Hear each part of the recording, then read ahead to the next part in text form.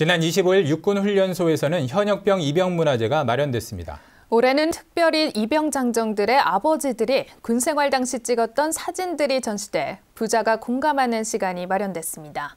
김설희 기자가 보도합니다.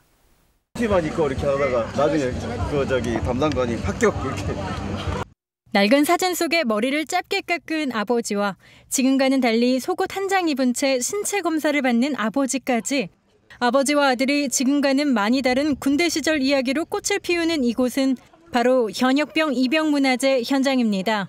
올해는 특별히 아버지와 아들의 병영 이행 시간을 주제로 사진이 전시돼 아버지가 자신의 군 생활을 아들에게 들려주는 시간을 가져 큰 호응을 얻었습니다.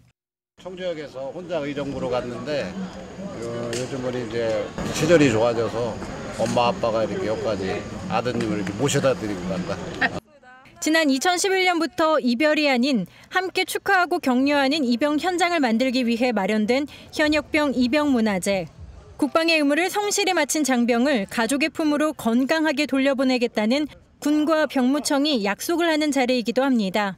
현역병 입영 문화제는 입영자와 그 가족에 대한 축하와 격려를 통해 병역 이행에 대한 자긍심을 고취하고 군 복무에 대한 심적 부담을 완화하며 국민이 공감하고 신뢰하는 입영 문화 조성으로 병역 이행이 자랑스러운 사회 분위기 구현에 그 목적이 있습니다.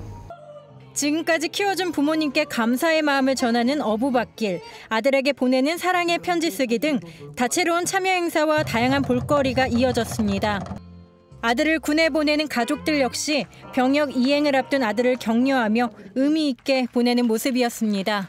아마 훈련이 아마 처음 경험한 거라서 굉장히 힘들 텐데 첫 번째는 먼저 용기 잃지 말고 두 번째는 군은 자기가 인생 생활에서 어떤 순간의 과정이니까 아, 충분히 잘 해리라 믿고 용기 잃지 말고 끝까지 잘 해리라 믿습니다. 우리 아들 화이팅! 화이팅! 국방뉴스 김설입니다.